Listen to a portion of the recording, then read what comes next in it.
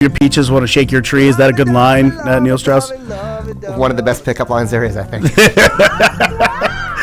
All right, uh, my guest today uh, for a takeover is uh, author and dare I say Renaissance man uh, Neil Strauss, who's written uh, a ton of great books. Uh, the Game, The Dirt, which is the Motley Crue book. He wrote books on Jenna Jameson and Marilyn Manson. He wrote for Rolling Stone. He wrote for the New York Times. Trying to keep it interesting. Wow, that's yeah. quite. That's, you've racked up quite a resume. I know. I know.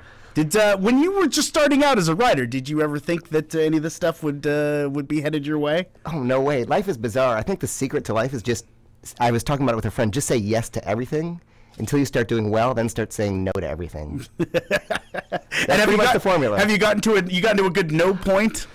You know what? But I couldn't say no to this because what we're doing here is so fun. It, like it's probably the most fun thing in the world to share stuff you love with other people. Right, and you, uh, you know, obviously a music guy. You've been right. writing about music for forever. So, uh, you know, we're gonna hold your selections.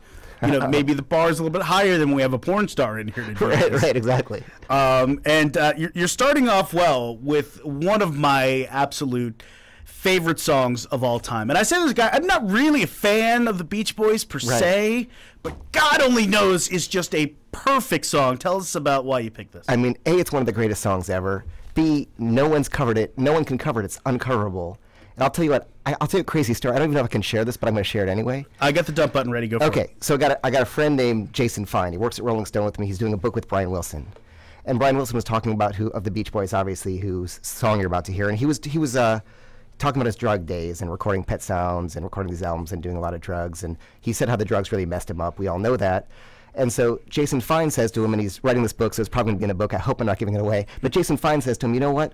Um, you've, you've done all these drugs, and yeah, they've hurt your life, but you also made this great music. So if you had to choose it all over again, what would you choose? Like just have a good life and not do the drugs, or do the drugs and have the great music? And Brian Wilson said, more pain, better music. Oh man, oh what a great line. All right, let's uh let's hear the tune. It's the Beach Boys on KLOS.